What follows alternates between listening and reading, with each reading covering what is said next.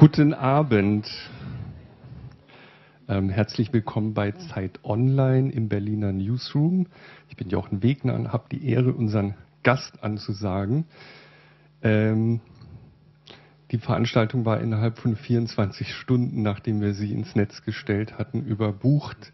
Es tut mir leid, dass es ein bisschen eng ist. Wir haben zur Beruhigung Schnapspralinen verteilen lassen. Ähm, das hat Gründe, die nur die Menschen verstehen, die wissen, warum sie hier sind. Ähm, ich muss das Känguru leider entschuldigen, es konnte nicht. Er lässt schön grüßen. Ähm, es ist uns eine große Ehre, diesen Mann, der jetzt hier gleich erscheinen wird, bei uns zu haben. Der liest normalerweise vor vielen tausend Menschen. Das tut er heute auch, aber im Internet. Und hat viele, viele, sehr viele Bücher verkauft. Ich darf nicht sagen, wie viele, sehr viele und ist seit vielen Jahren ein Star und zwar, obwohl er sich ähm, aus vielen Leitmedien raushält. In letzter Zeit erscheinen doch immer wieder hymnische Kritiken über ihn. Ähm, er macht jetzt acht Monate Pause. Das heißt, das ist die letzte Veranstaltung, die man noch buchen konnte. Danach ist Schluss. Es gibt nur noch so ein bisschen Nachgeklecker, aber man kann ihn einfach nicht mehr sehen. Er liest jetzt erstmal, sagt er, für die nächsten acht Monate. Ähm, ich freue mich sehr ähm, und ähm, soll noch grüßen Nico und Cora, denen wir diese Veranstaltung zu verdanken haben. Marc-Uwe Kling.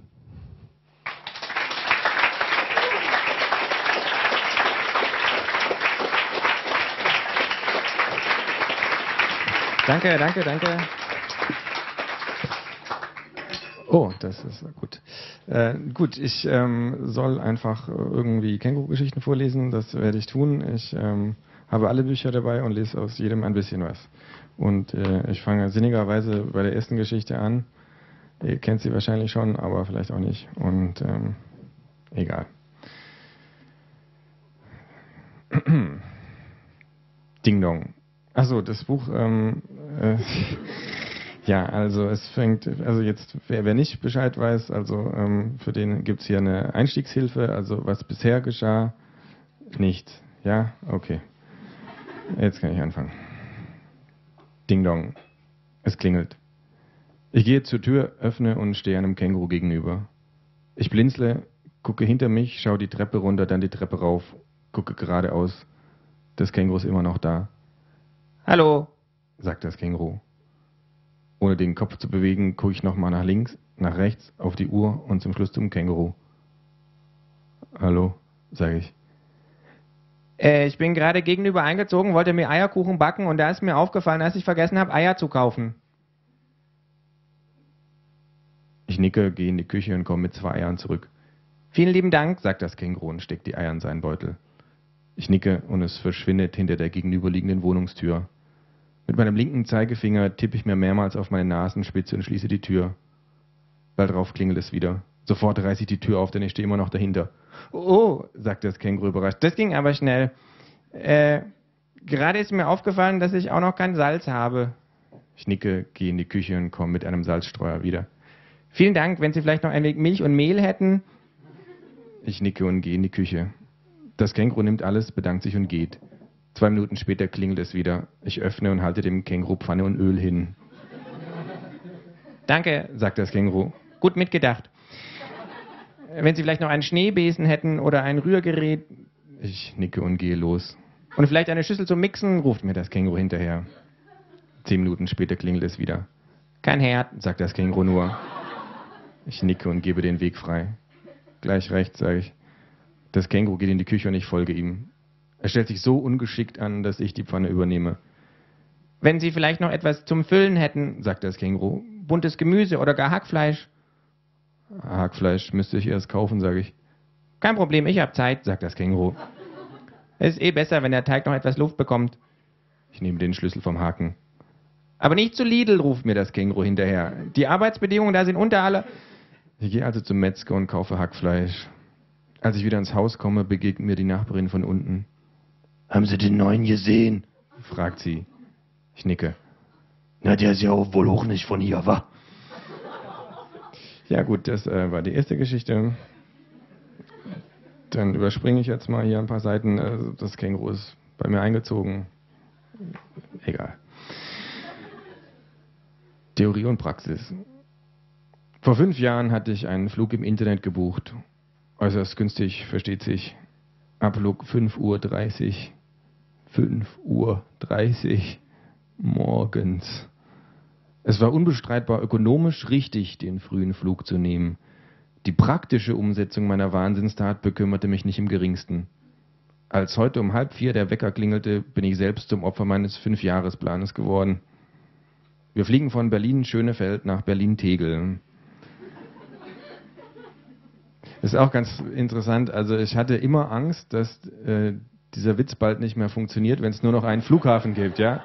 Aber das ist mir erspart geblieben. Das, ich glaube, der wird noch auf Jahre funktionieren. Wir fliegen von Berlin-Schönefeld nach Berlin-Tegel, wollen da im gleichnamigen See baden. Durch den Frühbucherrabatt war der Flug 1 Euro billiger als S-Bahn zu fahren. Als wir das Ticket für die S-Bahn zum Flughafen lösen, beschleicht mich der unangenehme Verdacht, irgendeinen Denkfehler gemacht zu haben. Am Flughafen gibt es zufällige, verdachtsunabhängige Intensivkontrollen und wie immer wird zufällig, verdachtsunabhängig ausgerechnet das Känguru kontrolliert. Weil ich zufällig, verdachtsunabhängig, nicht so unverdächtig weiß mitteleuropäisch aussehe, fragt es. Exakt, brummt der outgesauste, lohngedammte Sicherheitsdienstleister. Und nu? fragt das Känguru. Was willst du von mir, Mann ohne Eigenschaften? Das ist ein kleiner Germanistenwitz eingebaut. Lernen Sie mal bitte Ihren Beutel. Wahnsinn, was es immer alles dabei hat. Kurt Cobains Tagebücher, eine Familienpackung Aspirin, einen alten Teddybär, eine Hängematte, ein Schlauchboot, eine Mao-Bibel, rote Boxhandschuhe, diverse Aschenbecher, zwei Packungen Schnapspralinen, mein MP3-Player. Ach, guck an, sage ich. Mein MP3-Player. Das Känguru zuckt mit den Schultern. Ach, mein, dein. Das sind doch bürgerliche Kategorien. Dann jetzt noch den Beutel aufs Band, bitte, sagt der Mann. Das Känguru blickt ihn verwirrt an. Das, das, das geht nicht, sagt es konsterniert. Den Beutel bitte aufs Band, wiederholt der Mann. Der, der, ist, der ist angewachsen, sagt das Känguru. Der Beutel, sagt der Mann nochmal überdeutlich muss aufs Band. Seine Kollegin versucht mit einer Übersetzung weiterzuhelfen. Please put the bottle on the band. Das Känguru zieht mehrmals an seinem Beutel, macht dabei Quietschgeräusche und sagt überdeutlich ungenervt: Angewachsen, geht nicht. Der Beutel muss aufs Band. So sind die Vorschriften, brummt der Mann. Das ist entwürdigend, ruft das Känguru eine Minute später vom Band kurz bevor sein Kopf in der Durchleuchtemaschine verschwindet. Also ich kann nichts erkennen, murmelt die Frau hinter dem Bildschirm. Wir müssen das nochmal machen, sagt sie zum Känguru, als es auf der anderen Seite wieder rauskommt. Und drehen Sie den Beutel bitte nach oben. Ihr habt ja wohl einen Arsch offen, beginnt das Känguru zu fluchen. Der Mann nimmt sein Funkgerät, um Verstärkung zu rufen. Ich blicke das Känguru flehend an. Es schnaubt böse, hüpft vom Band, stampft wieder zurück und legt sich nochmal anders herum drauf. Ein Idiot in Uniform, sagt das Känguru, ist immer noch ein Idiot.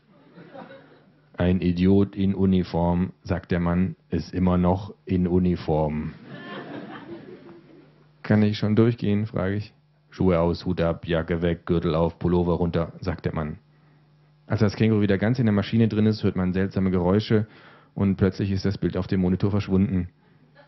Der Kopf des Kängurus wird unter dem schwarzen Gummivorhang vorgeschoben. Und was meinen Sie, Doktor? fragt es im fatalistischen Tonfall eines Emergency Room Statisten. Ist es was Schlimmes? Ich habe mich derweil komplett ausgezogen und frage, ist gut so oder soll ich noch die Haare wegrasieren? Vier Tage später werden wir aus der Untersuchungshaft entlassen.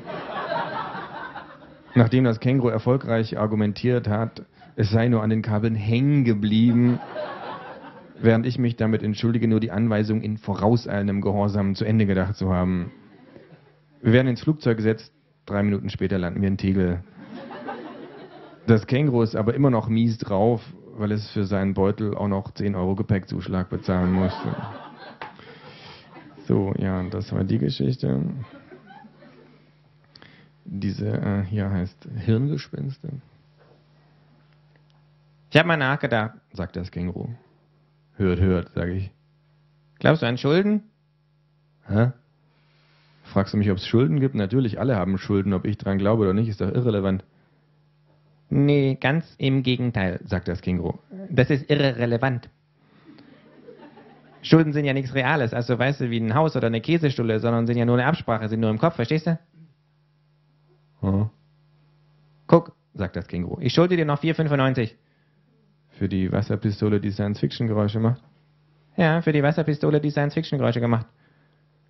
Und jetzt tun wir beide einfach so, als würde ich dir nichts schulden. Und? Jetzt schulde ich dir nichts mehr. Ein paar Sekunden blicke ich stumm das Känguru an. Aha, sage ich. Schulden sind ein bisschen wie Gott, sagt das Känguru. Wenn man nicht dran glaubt, muss man sie nicht fürchten. Nochmal zum Mitschreiben sage ich, du behauptest also jetzt, dass du mir gar keine 4,95 schuldest. Genau, sagt das Känguru. Und wenn es zum Beispiel alle so tun würden, als hätte Griechenland keine Schulden mehr, dann hätte Griechenland auch keine Schulden mehr. Ja, sage ich, aber warum sollten das die Gläubiger tun? Das ist das Schöne daran, sagt das Känguru. Es reicht, wenn es die Schuldner tun. Wenn sich die alle einig sind, das wären dann nämlich ungefähr 99,9 Prozent der Weltbevölkerung, könnten die Gläubiger kommen und sagen, ey, ihr habt Schulden bei uns. Und wir stellen uns einfach dumm und sagen, weiß ich nichts von. Hm, sage ich. Und jetzt stell dir vor, wenn einfach alle so tun würden, als hätte keiner mehr Schulden, dann gäbe es keine Schulden mehr. Das ist doch irre. Da lässt man die Leute verhungern und erfrieren, aber nicht, weil es an Häusern oder Käsestullen mangelt, sondern nur wegen Hirngespinsten. Ja, aber wenn man deinen Vorschlag in die Tat umsetzt, dann würde, glaube ich, das ganze Weltwirtschaftssystem zusammenbrechen, sage ich. Umso besser, sagt das Känguru. Taugt eh nichts. So, eine noch hier, Gesundheit. Das ist eine sehr lange Geschichte. Ursprüngliche Akkumulation. Wir stehen am Hauptbahnhof. Das Känguru muss mal. Ich muss auch. Allerdings nicht aufs Klo, sondern nur davor warten. Nach einer Minute kommt das Känguru zurück. Ist dir klar, dass die meisten Krisentheorien des Kapitalismus, die den baldigen Zusammenbruch vorhersagen, daran kranken, dass sie unterschätzen, wie viele einst wertfreie Bereiche des gesellschaftlichen Zusammenlebens noch der kapitalistischen Verwertungskette anheimfallen können, um solchermaßen die Krisentendenzen durch eine quasi erneute ursprüngliche Akkumulation abzuschwächen? fragt das Känguru. Ich seufze. Brauchst du Geld fürs Klo? frage ich. Ich sehe, wir verstehen uns. Ja, gut. Ähm, das, ich trinke mal einen Schluck. Hm. Äh, wir wechseln die Farbe. Jetzt wird es rot. Die Geschichte heißt Guten Tag, Kollege. Das Känguru zieht an seiner Tüte. Schon mal darüber nachgedacht, dass es von uninformiert kein langer Weg zu uniformiert ist? fragt es und legt die Tüte im Blumenkasten ab. Man muss nur ein N wegnehmen. Dann spuckt es in den Blumenkasten. Bäh, das ist ja eklig, rufe ich. Was denn, soll ich etwa vom Balkon runterspucken? fragt das Känguru und spuckt nochmal den Blumenkasten. Es friemelt sich etwas Tabak aus dem Mund. Der Filter ist nicht so gut geworden. Ich blicke auf die unzähligen toten Pflanzen in den Kästen. Was für ein Massaker, sage ich kopfschüttelnd. Willst du unterstellen, die Pflanzen sind kaputt gegangen, weil ich da ab und zu reingespuckt habe? Entweder das oder du hast ihnen zu viele Wortwitze erzählt. Au contraire, ruft das Känguru. Ich glaube, Gerlinde gesagt, äh, dass die Pflanzen vertrocknet sind, weil ich nicht oft genug reingespuckt habe. Das ist wahrscheinlich hochgiftig, was du da ausspuckst. Quatsch, ich kann gut mit Pflanzen, sagt das Känguru. Ich habe den grünen Gaumen. Boah, wie widerlich. Das Känguru spuckt nochmal auf die toten Küchenkräuter. Und ich hatte mir letzten Sommer Sorgen gemacht, sage ich, weil ich das Gefühl hatte, von der Petersilie high zu werden. Fressflash, ruft das Känguru und zieht einen halbgegessenen Schoko-Weihnachtsmann aus seinem Beutel. Früher haben wir die Verpackungen von den Schoko-Weihnachtsmännern sehr sorgfältig abgezogen und geblättet und dann haben wir auf dem Schulhof miteinander getauscht, sagt das Känguru. So war das damals im Osten. Als ich zur Grundschule ging, da hatten alle so tolle Stickeralben, sage ich, mit bunten, glitzernden, sogar mit phosphoreszierenden Aufklebern. Nur ich war der einzige Junge auf der ganzen Welt, dem seine Eltern kein Stickeralbum gekauft hatten. Ich weiß nicht mal mehr warum. Wahrscheinlich fanden sie es zu teuer oder zu blöd oder sie konnten mich nicht leiden. Jedenfalls habe ich mir dann selber ein Stickeralbum gebastelt, in dem ich die leeren Folien zusammentackerte, die übrig blieben, wenn mein Papa seine Adressaufkleber verklebt hatte. Daran habe ich dann Schreib mal wieder Aufkleber von der Bundespost. Sie waren weiß, oval und mit einer fetten Taube und diese furchtbar hässlichen Ein Herz für Kinder Aufkleber gesammelt. Warum hast du nicht gleich die Adressaufkleber von deinem Vater gesammelt? fragt das Känguru. Habe ich, sage ich. Davon hatte ich eine ganze Menge im Album. Niedlich. Aber die anderen Kinder wollten nie Aufkleber mit mir tauschen. Es muss hart gewesen sein, im Kapitalismus aufzuwachsen, sagt das Känguru. Ihr durftet ja nicht mal ohne Gängeleien ins schöne Mecklenburg fahren, um Urlaub zu machen. Nee, sage ich. Immer nur in die Südsee. Jedes Jahr in die Südsee. Das muss genervt haben. Das hat genervt, sage ich. Aber es war auch nicht alles schlecht im Westen. Zum Beispiel hattet ihr Farben, sagt das Känguru. Ja, und wir hatten in Einkaufszentren riesige Container mit unfassbar vielen kleinen giftigen Plastikbällen, wo man seine Kinder loswerden konnte. Was ich damals schon an Weichmachern gelutscht habe. Naja, wie dem auch sei. Ich fand mein Sticker-Album trotzdem super. Ich habe das sogar noch in einer Kiste auf dem Schrank.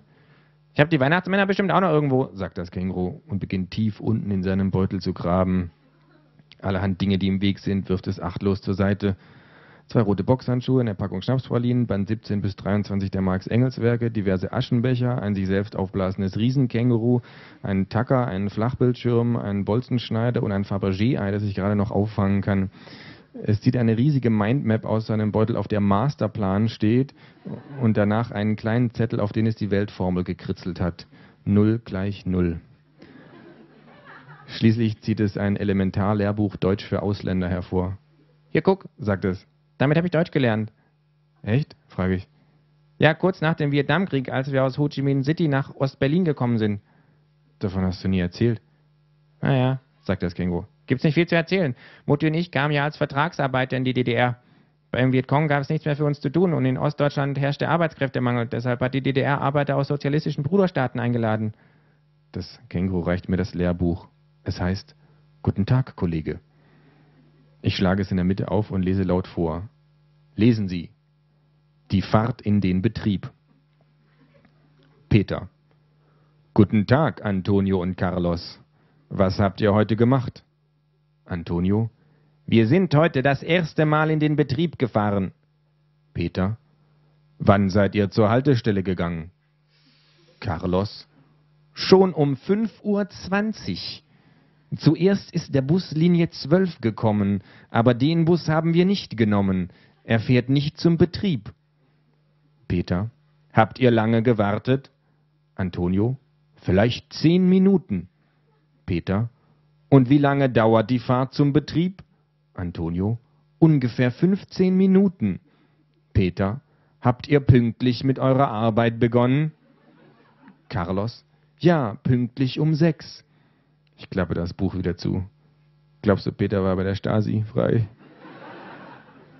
Wahrscheinlich waren sie alle drei bei der Stasi, sagt das Känguru.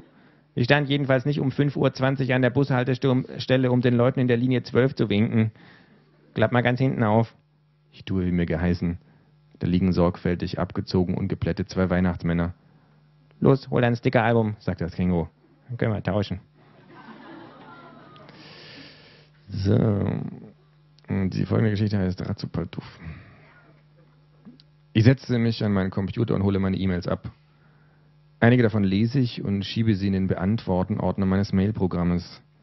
Dann verschiebe ich ein paar ältere E-Mails aus dem Beantworten-Ordner in den Dringend-Ordner und dann verschiebe ich ein paar noch ältere E-Mails aus dem Dringend-Ordner in den wirklich Dringend-Ordner. Dann lösche ich einige von der Zeit überholte E-Mails aus dem wirklich Dringend-Ordner und schalte den Computer wieder aus. Es überkommt mich das wohlige Gefühl, heute schon richtig was erledigt zu haben.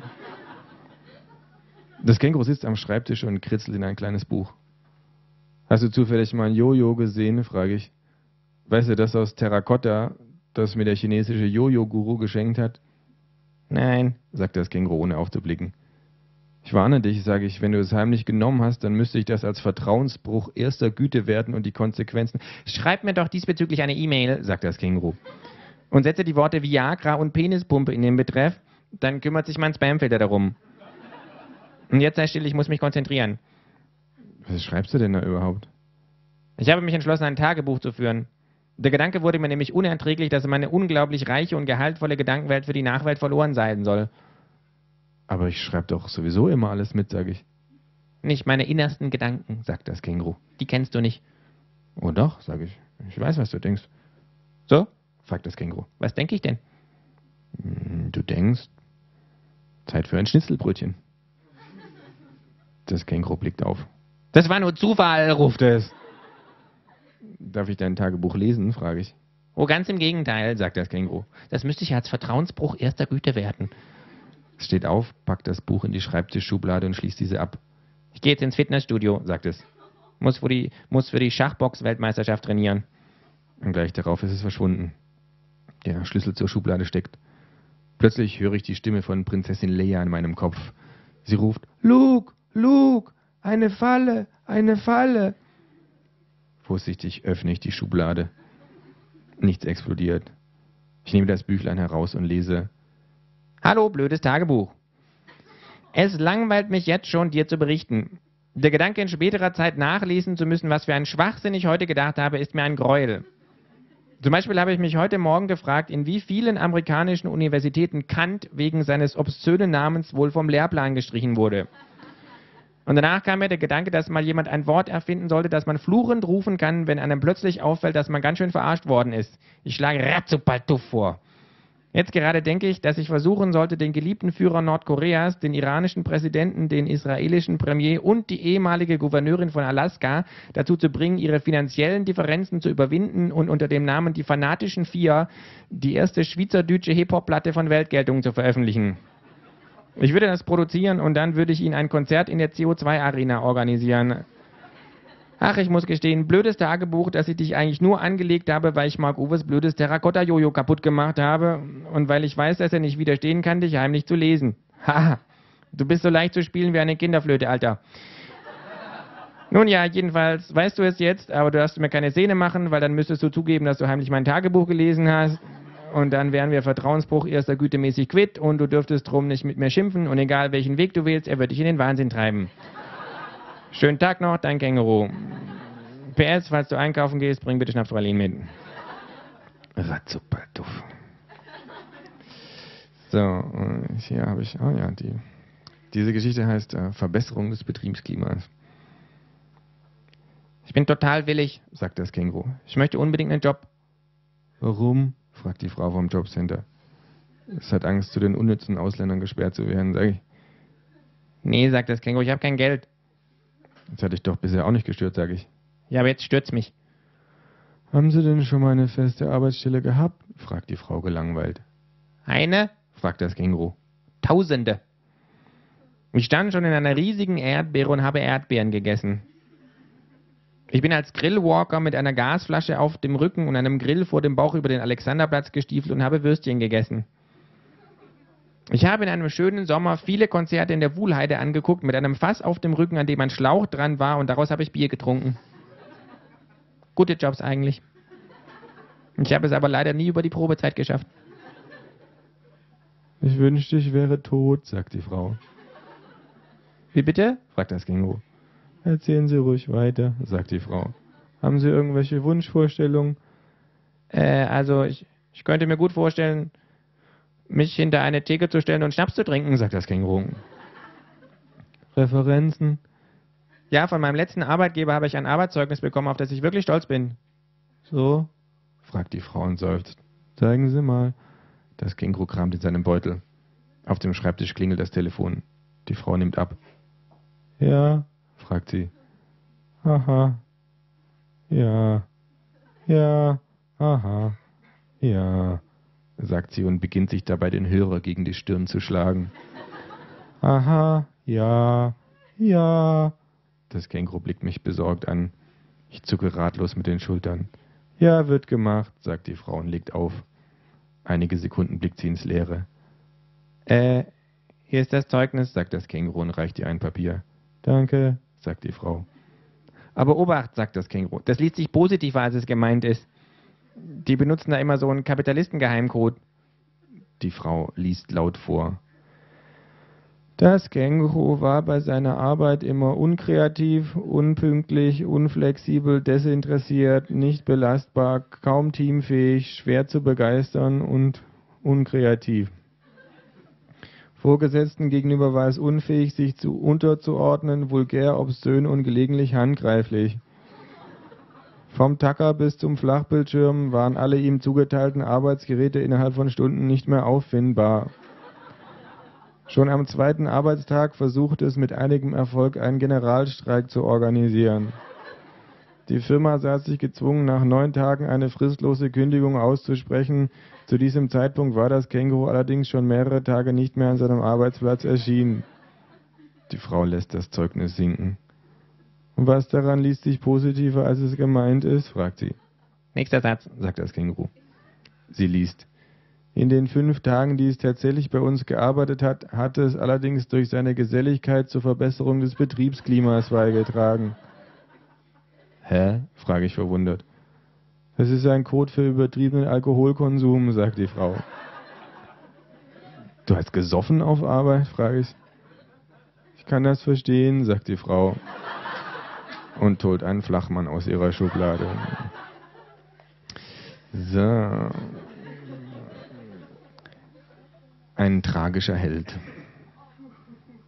Das K war telefonisch verständigt worden, dass an diesem Tag eine kleine Untersuchung wegen seiner Registrierung stattfinden würde. Ich muss Ihnen sagen, dass der erste Besuch hier eine sehr kafkaeske Erfahrung für mich war, sagt das Känguru zu dem Mann von der Ausländerbehörde. Darum habe ich meinen Anwalt mitgebracht. Ich nicke freundlich. Können Sie sich ausweisen? fragt der Mann das Känguru. Ich dachte, das wäre Ihre Aufgabe, sagt das Känguru. Ich finde es ein wenig viel verlangt, dass ich mich auch noch selbst ausweisen soll. Sie wissen sicher, dass das Ministerium für Produktivität eine neue Verordnung erlassen hat, aufgrund derer alle Ausländer in eine von zwei Kategorien eingeteilt werden, sagt der Beamte zu mir. Produktiv oder unproduktiv. Und je nachdem, wie ich hier Känguru einteile, also genau genommen ist es nicht mein Känguru, sage ich, es gehört sich quasi selber, bekommt es entweder ein P oder ein U in seinen Pass gestempelt, fährt der Mann fort. Sie können mich nicht abschieben, ruft das Känguru. Ich habe doch einen festen Job. Ah ja, fragt der Mann. Ah ja, frage ich. Bei wem sind Sie denn angestellt? fragt der Beamte. Bei ihm, ruft das Känguru und deutet auf mich. Ah ja, fragt der Mann. Ah ja? Äh, ja, ja, sage ich. Genau, äh, es ist fest bei mir angestellt. Als, äh, ich blicke das Känguru an. Äh, Maskottchen, sage ich. Das Känguru wendet sich mir zu, verdreht die Augen und schüttelt fast unmerklich den Kopf. Als Maskottchen, fragt der Mann. Aha. Ähm, ich nehme es immer zu meinen Auftritten mit. Auftritte, fragt der Mann. Ich dachte, Sie sind Anwalt. Aha. Ähm, Anwalt und Kleinkünstler, sage ich. Von der Juristerei alleine kann man ja kaum leben. Und jedenfalls nehme ich das Känguru immer zu meinen Auftritten mit und da, da steht es dann am Eingang und verteilt aus seinem Beutel äh, Aufkleber an die Leute.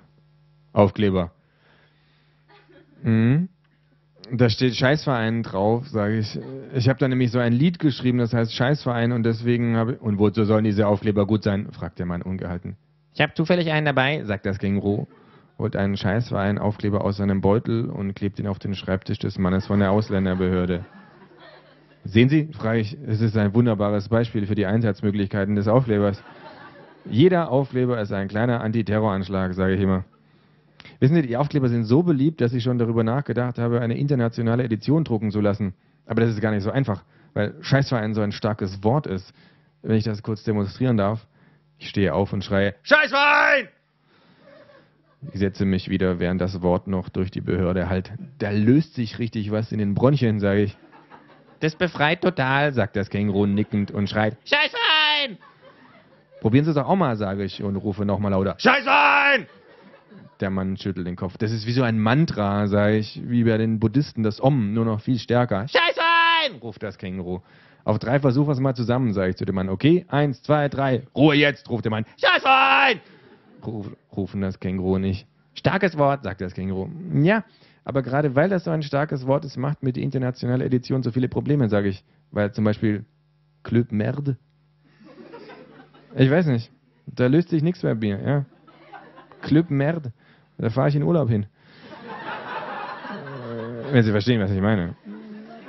Ich bitte um Ruhe, sagt der Mann. Oder Club of Shit, sage ich. Was soll das sein? Ein Kartenspiel?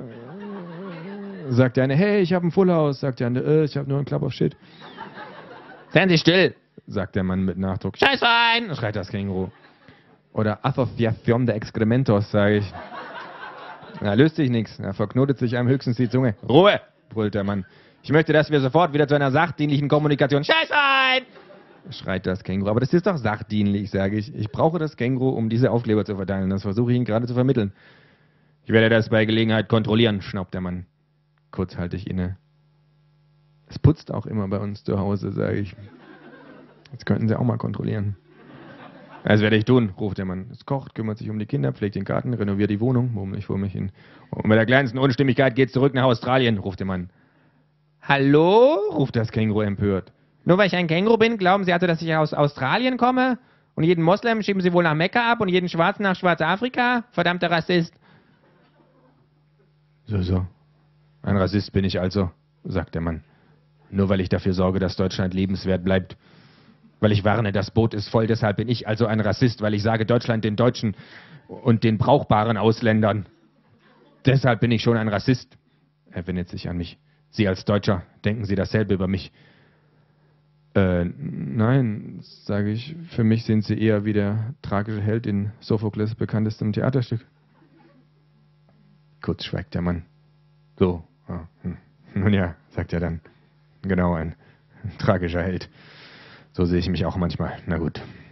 Er stempelt ein Fragezeichen in den Pass des Kängurus. Dann gehen Sie mal. Aber nehmen Sie bitte Ihr Maskottchen mit. König Ödipus, flüstert das Känguru, als ich die Tür des Büros hinter mir zuziehe. Chapeau, du hast ihn gerade auf extrem subtile Weise einen Motherfucker genannt, Alter.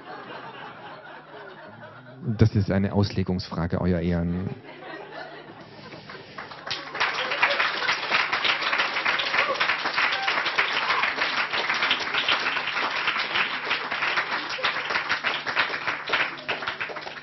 Tja. Also jetzt kommt ein, äh, ein, ein lilanes Buch, das heißt Überwachen und Schlafen. Das ist ein Buch, was ich in meiner Lesebühne gemacht habe. Da sind aber auch Känguru-Geschichten drin. Allerdings passt sie überhaupt nicht in die Zeit. Scheiße, ist das kalt, flucht das Känguru. Es hüpft vor mir durch den Schnee, die roten Boxhandschuhe über den Pfoten und unfassbar rosafarbene Ohrschütze auf dem Kopf. Glotz nicht so blöd, schimpft das Känguru. Ich weiß, dass das scheiße aussieht. Es lässt einen Ast los, der mir direkt ins Gesicht klatscht. Warum folge ich dir nur immer wieder auf diese Abkürzungen, murre ich, aber die Frage bleibt nur als lauwarmer Nebel in der eiskalten Abenddämmerung hängen. Da vorne müsste der Weg sein, sagt das Känguru. Vertrau mir, meine alten Dschungelinstinkte werden wieder wach. Dschungelinstinkte. Ich kann es gar nicht fassen, dass wir uns im Tiergarten verlaufen haben. 15 Minuten später. Ich denke, wir sollten unsere Lage akzeptieren und hier Feuer machen, sagt das Känguru, als wir zum dritten Mal dieselbe Lichtung betreten. Wenn der Tag anbricht, finde ich auf jeden Fall hier raus. Ich verdrehe die Augen und schimpfe vor mich hin. Das Känguru macht derweil Feuer. Plötzlich blickt es mich seltsam an. Sag mal, darf ich dich essen, falls du erfrierst? Was? rufe ich verstört. Nein. Wieso denn nicht? fragt das Känguru. Ich finde das sehr egoistisch von dir. Wenn ich vor dir erfriere, darfst du mich essen. Ich will dich nicht essen, das ist ja ekelhaft. Na danke, sagt das Känguru. Du bist ja auch ekelhaft. Es wirft einen Ast ins Feuer und reibt sich die Pfoten. Du müsstest mich ja nicht roh essen, sagt es nach einer Weile. Du könntest mich ja grillen. Ich würde dich grillen. Es zieht etwas aus seinem Beutel. Du hast Gewürze dabei, frage ich. Na, na, ruft das Känguru herausfordernd und bestreut sich selbst. Wollen mal sehen, ob ich mich dir nicht doch schmackhaft machen kann. Ein bisschen Curry hier, ein bisschen Koriander da. Bäh, ich hasse Koriander. Hören Sie mal, brummt er plötzlich eine fremde Stimme. Die Diskussion können Sie sich gleich mal sparen. Grillen ist im Teil vom Tierjahren sowieso nicht erlaubt. Ich bin vom Ordnungsamt. Die gibt einen saftigen Strafzettel. Das Känguru mustert unseren ungebetenen Gast. Sagen Sie mal, sagt es, Würden Sie sich von Ihrem besten Freund aufessen lassen? In einer Notsituation? Wenn Sie sowieso sterben würden, ihn aber retten könnten?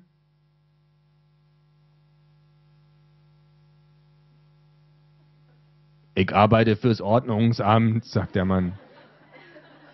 Ich hab keine Freunde. Aber können Sie uns vielleicht sagen, wie wir hier wieder rauskommen, frage ich. Sie haben sich verlaufen. Ich nicke. Im Tiergarten. Ich seufze. Das ist nicht mein Zuständigkeitsgebiet. Wenn du erfrierst, sagt das Känguru zu mir, esse ich dich einfach trotzdem. Ich verbiete dir ein für alle Mal, mich zu essen, zische ich. Also ich habe zwar keine Freunde, funkt der Mann vom Ordnungsamt dazwischen, aber eh nicht sage ich Ihnen. Wenn ich Freunde hätte, würde ich mal auf der Stelle von selbigen aufessen lassen.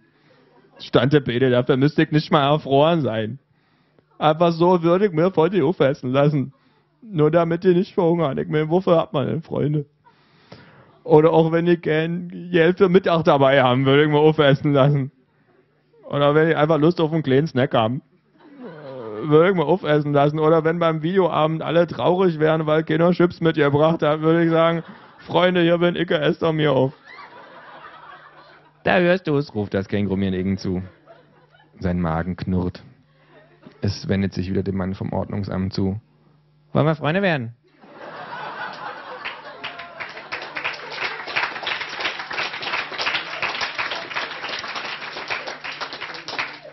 Ja, vielen Dank. Ähm, hm, wir kommen zum blauen Buch. Das Känguru kommt in mein Zimmer und schaltet das Radio aus. Es zieht neun zusammengerollte Blätter aus seinem Beutel. Ich habe hier neun Prophezeiungen über deine Zukunft, sagt es. Wer hat da prophezeit? Ich natürlich. Ich glaube, du liest zu viel Fantasy. Willst du die Prophezeiung hören oder nicht? Klar, schieß los. Sie sind aber nicht umsonst. Was sollen deine mystischen Prophezeiungen denn kosten? Ein Blutstropfen? Eine Haarsträhne? Eine Augenwimper? 20 Euro. Was? Rufe ich 20 Euro? Das sind ja fast 40 Mark. 80 Ostmark. 400 Ostmark auf dem Schwarzmarkt. Ja, ja, unterbricht mich das Känguru. Kommt zum Punkt. Die Prophezeiung muss erst noch geschrieben werden, für die ich 20 Euro zahlen würde. Falsch, sagt das Känguru. Es holt ein Feuerzeug aus seinem Beutel und zündet drei der neuen Prophezeiungen an. Was machst du denn da? rufe ich überrascht. Das Känguru beobachtet, wie die drei Schriftrollen zu Asche zerfallen. Ich habe hier sechs Prophezeiungen über deine Zukunft, sagt es. Gar nicht neugierig? Was in deiner Kindheit hat dich nur zu solch einem Monster werden lassen? Das Känguru macht das Feuerzeug an. Halt, rufe ich, was sollen die sechs denn kosten? Die sechs kosten so viel wie die neun. Nach einigem Nachdenken sage ich, ich biete dir fünf Euro. Du Krämerseele, ruft das Känguru. Man feilscht nicht mit dem Schicksal. Und es verbrennt drei weitere Prophezeiungen. Ich habe hier drei Prophezeiungen über deine Zukunft, sagt das Känguru. Die Prophezeiungen werden eintreffen. Das prophezeit ist von großem Interesse für dich. Darauf gebe ich dir eine Geld-Zurück-Garantie. Was sollen die drei Prophezeiungen denn kosten? Die drei kosten so viel wie die neun. Ich schüttle den Kopf. Das Känguru macht das Feuerzeug an. Ich seufze und hole einen 20-Euro-Schein aus meinem Geldbeutel. Das Känguru nimmt ihn und reicht mir die drei Schriftrollen. Ich öffne die erste Prophezeiung. Da steht, ich prophezeie, du wirst für drei Prophezeiungen einen Preis zahlen, den du für neun nicht zahlen wolltest. Ich öffne die zweite Schriftrolle. Da steht, ich prophezeie, du wirst dein Geld zurückhaben wollen, es aber nicht bekommen. Ich öffne die dritte Schriftrolle. Da steht, Raum für Notizen. War zu bald duff, sage ich. Was du dir nicht alles einfallen lässt, um an ein bisschen Geld zu kommen. Oh, es ging nicht ums Geld, sagt das Känguru und zündet den 20-Euro-Schein an. Es geht mir nie ums Geld. Es lächelt. Man sieht sich. Das Känguru zieht Pulver aus seinem Beutel, wirft es auf den Boden, Rauch steigt auf und einfach so ist es weg. Hm. Blutig. Wenn ich mich kurz vorstellen darf, sagt das Känguru und streicht sich über seine nach hinten gegelten Haare. Ich bin Schatzmeister des Verbandes Deutscher Floristen, der sogenannten Blumen Group. Sicher haben Sie schon von uns gehört. Es trägt ein blassblaues Langarm-Shirt über einem Hemd mit weißem Kragen, eine gemusterte Krawatte, Hosenträger, keine Hose und in der Pfote hält es eine Zigarre. Nun gut, welche Summe sollen wir denn für Sie anlegen? fragt der Bankberater. Eine halbe Million? sagt das Känguru. Oho, sagt der junge Mann und wird spürbar freundlich, ein stattliches Sümmchen. Ja, sagt das Känguru. Es ist mir durch ein paar Tricks gelungen. Unter uns Verbrechern brauche ich ja nichts verheimlichen. Nein, natürlich nicht, sagt der junge Mann lächelnd. Es ist mir gelungen, einige Gelder vor der Steuer zu retten und in meine private Tasche umzuleiten. Ganz prima. Mein alter BWL-Professor, sage ich leutselig, ein Typ, der sich seine Resthaare über die Glatze gegelt hat, sagt immer, eine Bank ist wie ein Friseur. Man geht hinein und verlangt, einmal waschen und anlegen, bitte. Ja, ähm, wie sollen wir das Geld denn anlegen? fragt der Bankberater. Machen Sie das Portfolio ruhig so, wie ich meine Steaks mag, sagt das Känguru. Ah, sagt der Mann, well done. Nein, sagt das Känguru, blutig. Wie bitte? Sie verstehen mich schon, sagt das Känguru. Geld arbeitet nicht, Menschen arbeiten. Und je größer die Ausbeutung, desto größer die Rendite. Das ist auch klar. Gehen Sie dahin, wo es weh tut. Ich will dritte Welt, 16-Stunden-Tage, Kinderarbeit, äh, ich will Landminen, Streubomben, Atomkraftwerke, ich will Rohstoffe aus Krisenregionen, Öl aus Naturschutzgebieten, spekulieren Sie mit Lebensmitteln, egal was. Ich, ich, ich weiß nicht, sagt der Mann. Vielleicht sollten Sie mit meinem Vorgesetzten, der kennt sich da besser aus. Nein, nein, nein, sagt das Känguru. Sie schaffen das schon. Mir ist ja völlig egal, was Sie mit meinem Geld machen. Hauptsache, Sie machen mich reich. Nein, das trifft es nicht. Hauptsache, Sie machen mich noch reicher. Das ist natürlich mein Job, sagt der Mann, aber ich will doch nichts anderes als all die anderen, die ihr Geld hier anlegen, sagt das Känguru. Nein, nein. Störte Sie etwa, dass ich so offen bin? Nun ja, ich also nun. Sie sind mir ja ein Herzchen, sagt das Känguru. Wenn Sie Gutes tun wollen, hätten Sie nicht Banker werden dürfen. Nein, nein, ich will natürlich nichts Gutes tun, aber na fein, von mir aus, sagt das Känguru. Ich kann es auch wie in Ihrer Werbung formulieren. Suchen Sie mir bitte Firmen und Konzerne, die in den ärmsten Ländern der Welt wichtige Investitionen tätigen und mithelfen, diese Länder aufzubauen und den Menschen dort Perspektiven durch Arbeitsplätze zu bieten. Das Känguru fängt an zu lachen. Diese Infrastruktur und die Segnungen der Marktwirtschaft. Ein hysterischer Lachkrampf hinter das Känguru am Weitersprechen. Sie, Sie machen mir Angst, sagt der Mann. Das Känguru hört abrupt auf zu lachen. Sie wollen mein Geld nicht haben? fragt es. Seien Sie versichert, ich finde einen Schreibtischtäter, skrupellos wie ich, der keine moralischen Bedenken hat, für mein Anlagekapital Provision einzustreichen. Und Sie haben anscheinend den falschen Beruf? Es steht betont langsam auf. Denken Sie mal darüber nach. Guten Tag. Wir verlassen den verdutzten jungen Mann und die Bankfiliale. Und nun? frage ich. Tja, sagt das Känguru. Noch die Commerzbank da vorne. Dann machen wir Schluss für heute.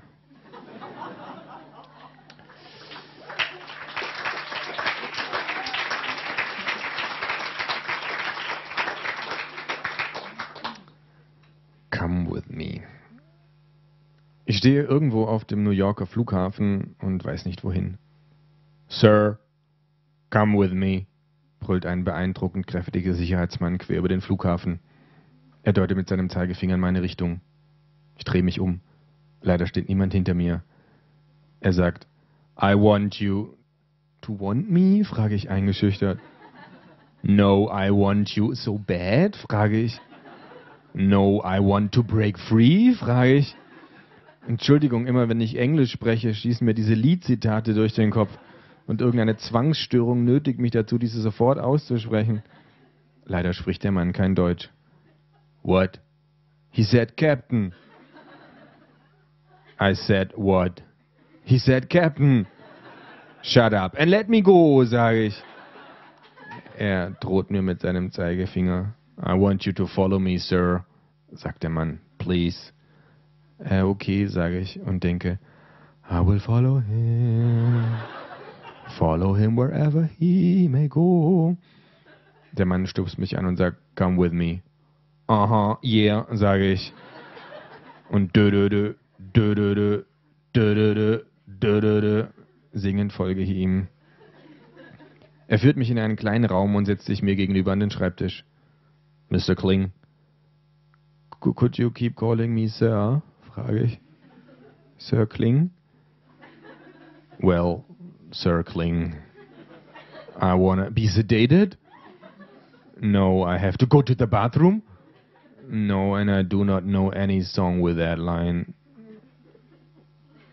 You're right, that wasn't a song. I- I'm sorry. Where is my mind? Anyway, please tell me lies, tell me sweet little lies. No, I'll tell you what I want, what you really, really want. Would you please stop in the name of love? In the name of the semi automatic rifle I'm carrying. Ich nicke. Thank you. I need to ask you what you do. I did do nothing, sag. I swear, but the moon and the stars and the sky. I meant, what is your profession? Your job at home in Germany? Oh, uh, I, I'm an artist. I mean, a small artist. Or maybe you'd call it a little artist. No, that would be a juggling dwarf. Uh, well, you see, I go on stage and tell stories. You're a comedian. Um, um, I'm kind of like, well, uh, you know, I'm uh, kind of, um, yeah, okay. I thought so, der Mann. Very funny. Well, uh, thank you. Well, let me tell you, that's an explanation, but no excuse. Ich nicke. Der Mann gibt mir meinen Koffer. Well then, have a nice day circling. Welcome to the House of Fun, the United States of America. Wir wollen zur Freiheitsstatue. Vorerst stehen wir aber nur in einer langen Schlange vor einem Takeaway-Pizzaladen. Boah, dauert das. Flucht das Känguru. Ich fühle mich wie in diesem einen Theaterstück, sage ich. Welches Theaterstück? Warten auf To Go, Very funny, you old joke cookie. sagt das Känguru. Ich blicke mich gelangweilt um. Neben dem Pizzaladen ist ein Starbucks, ein McDonalds und ein geschlossener Schlecker. Gegenüber öffnet gerade ein neuer Bubble Tea Laden, Pizza ist ja übrigens vor einiger Zeit vom US-Kongress als Gemüse klassifiziert worden. sagt das Känguru. Hast du das gewusst? Was für ein unfassbar geiler Satz, sage ich. Kannst du den bitte wiederholen? Pizza ist ja übrigens vor einiger Zeit vom US-Kongress als Gemüse klassifiziert worden. sagt das Känguru. Ein Hammer, sage ich. Das ist mein neuer Lieblingssatz. Was war denn dein alter Lieblingssatz? Die Proletarier haben nichts zu verlieren als ihre Goldkettchen. Wer hat das gesagt? fragt das Känguru. 50 Cent? Ich weiß nicht mehr, wer das gesagt hat. Interessiert dich eigentlich gar nicht, warum der US-Kongress Pizza als Gemüse klassifiziert hat? fragt das Känguru. Na, bestimmt gibt es irgendeine Vorschrift, die besagt, dass Mahlzeiten in irgendwelchen öffentlichen Einrichtungen, was weiß ich, bestimmt geht es um das Essen an Schulen, das muss wahrscheinlich aus einem so und so großen Anteil Gemüse bestehen und dagegen hat die Fastfood-Industrie finanziell gut ausgestattete Einwände erhoben und da hat man quasi als Kompromiss einfach Pizza als Gemüse klassifiziert, Du hast mir meine Geschichte kaputt gemacht. sagt das Känguru. Das war so, ja? Ja. Der Kongress hat beschlossen, dass alles, was zwei oder mehr Teelöffel Tomatensauce enthält, als Gemüse bezeichnet werden darf. Toll, sage ich. Wer definiert, der regiert, Sicher. Sagt das Känguru. Ich glaube, die nächste Meldung dieser Art wird sein, einem Vorschlag des Deutschen Zigarettenverbandes folgend wurden Zigaretten aufgrund des hohen Anteils an getrockneten Pflanzen vom deutschen Parlament heute als Frühstückszerealien eingestuft und sollten somit Teil einer jeden gesunden Ernährung sein. Ein Sprecher des Kriegsverteidigungsministeriums erklärte heute auf Nachfrage, dass es sich beim Afghanistan-Krieg nicht um einen verlorenen Krieg handeln könne, da die Bundesregierung von Anfang an betont habe, dass es sich bei diesem Krieg gar nicht um einen Krieg handle, sondern um einen Bundeswehrbetriebsausflug. Wenn überhaupt, handle es sich also nicht um einen verlorenen Krieg, sondern höchstens um einen misslungenen Betriebsausflug. Dass Deutschland Kriege verliere, sei auch sowas von 20. Jahrhundert. Endlich bekommen wir unsere Pizzen und schlendern los in Richtung Freiheitsstatue, Der Obama, sagt das Känguru. der ist ja eigentlich einer von den Guten. Nur lassen ihn die anderen nicht. Witzig, sage ich. Nein, nein, sagt das Känguru. Ich meine das ernst. Der kann nicht, wie er will. Aber der ist Jurist. Darum macht er so Tricks. Wie bitte? Na, du musst das mal zu Ende denken. sagt das Känguru. Wenn jetzt zum Beispiel du zwei oder mehr Teelöffel Tomatensauce essen würdest, Ja. dann enthältst du die ja. Und? Bist dann also per Definition ein Gemüse. Und? Es gibt keine Gemüserechte. sagt das Känguru. Jetzt muss er nur noch anordnen, dass die Leute in Guantanamo einfach jeden Tag Spaghetti mit Tomatensauce zum Mittag kriegen. Dann ist das lagerrechtlich kein Thema mehr. Dieser schlaue Fuchs. Das Känguru blickt sich um. Ich glaube übrigens, dass wir uns verlaufen haben, sagt es. Kein Ding, sage ich und hole mein Handy aus der Tasche. Ich rufe mal kurz bei der NSA an. Wir wissen bestimmt, wo wir sind. Ich wähle die Nummer der Hotline. Tut, krack. NSA, Navigation Service of America, sagt die freundliche Frau am Telefon. Wie kann ich Ihnen helfen? Äh, Ja, äh, hö- hören Sie, sage ich. Sch- Schön, dass Sie zufälligerweise Deutsch sprechen. Äh, wir, wir möchten zur Freiheit, Frei, Freiheitsstatue, aber wir haben uns total verlaufen. Einen Moment bitte, ich orte Sie kurz. Ah ja, ich sehe Sie. Also da laufen Sie leider ganz falsch. Einfach mal umdrehen und ein gutes Stück in die entgegengesetzte Richtung gehen, dann kommen Sie zur Fähre. Vielen Dank, sage ich und winke. Gerne, sagt die Frau. Winke, winke. So, ähm, zum Schluss äh, möchte ich noch eine Geschichte vorlesen. Sie heißt, das ist die Meinung des Autors. Wir gehen Kaffee trinken. Guck mal, sage ich, als ich mit dem Pappbecher zurück an unseren Tisch komme. Das ist lustig. Auf die Pappbecher sind schlaue Zitate draufgedruckt. Ich habe Zitat Nummer 246. Ich zeige dem Känguru meinen Becher und es liest. Wir sind die erste Generation in der Geschichte, welche die extreme Armut abschaffen kann. Das ist unser Glück, unsere Herausforderung und unsere Verantwortung. Jeffrey Sachs. Das Känguru blickt mich an. Was ist daran lustig? fragt es. Das Kleingedruckte unten. Das Känguru liest vor. Das ist die Meinung des Autors und nicht notwendigerweise die Meinung von Starbucks. Ist es nicht schön, wenn die PR-Abteilung und die Rechtsabteilung so wunderbar Hand in Hand arbeiten, frage ich. Ich finde, andere Konzerne sollten das übernehmen. Zum Beispiel, man sieht nur mit dem Herzen gut. Das Wesentliche ist für die Augen unsichtbar. Antoine de Saint-Exupéry. Das ist die Meinung des Autors und nicht notwendigerweise die Meinung von Vielmann. Nicht notwendigerweise die Meinung. Das ist so feige, sagt das Känguru kopfschüttelnd. Das regt mich wirklich auf. Entweder man macht eine Ansage oder man hält die Klappe. Aber eine Ansage zu machen und sich dann sofort vorsorglich davon zu distanzieren, bläh. Diese Distanzierungsmanie ist ja eine regelrechte Krankheit. Sich bloß nicht auf irgendetwas festlegen lassen. Das zieht sich schon durch alle Lebensbereiche. Die Leute sagen ja nicht mal mehr, ich liebe dich. Die sagen, ich liebe dich. Bitte beachte die Fußnote. Und in der Fußnote steht, Liebe ist ein hormonell bedingter Zustand und unterliegt als solcher naturgemäß Schwankungen. Dies ist also eine zeitlich begrenzte Schätzung und mit keinerlei Rechtsansprüchen verbunden. Alle Ereignisse und Personen in dieser Aussage sind fiktiv. Alle Ähnlichkeiten mit lebenden oder toten Personen sind rein zufällig. Keine Tiere kamen beim Sprechen dieses Satzes zu Schaden. Ich hätte große Lust, den Leuten volle Kanne gegen das Schienbein zu treten und danach zu sagen, ich distanziere mich hiermit von dem Tritt gegen das Schienbein. Bah! Weißt du, was passiert, wenn man sich immer alle Türen offen hält? Dann zieht's, mein Freund. Dann wird man krank. Diese verblödete Wischi-Waschi-Kultur. Die Welt ist echt voll von Arschlöchern. Rechtlich abgesicherten Arschlöchern. Fußnote. Das ist die Meinung des Kängurus und nicht notwendigerweise die Meinung des Autors. Vielen, vielen Dank fürs Zuhören. Dankeschön. Danke.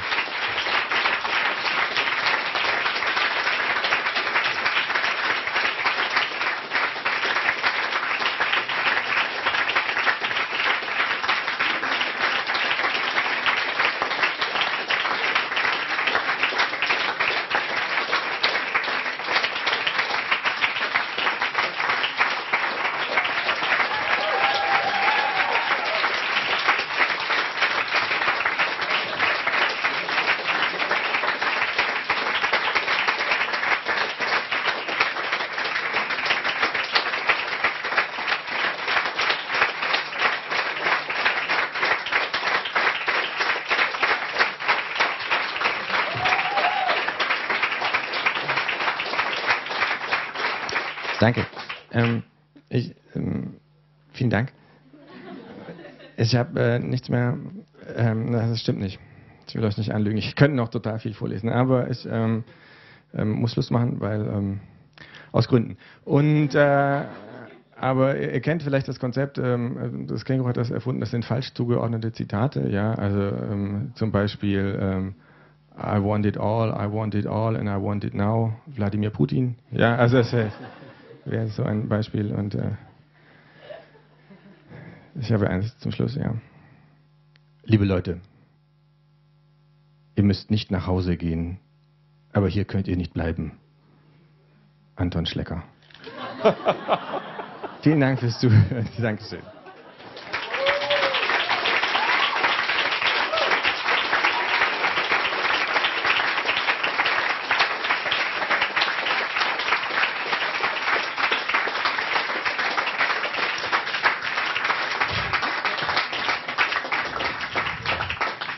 Vielen Dank fürs Hiersein. Es gibt, glaube ich, keine Schnapspralinen mehr, aber da hinten noch Tanzäpfle. Wer noch hier bleiben will, vielleicht können wir den Autor auch noch überreden, auf eine Apfelschorle vorbeizuschauen. Schönen Abend jedenfalls.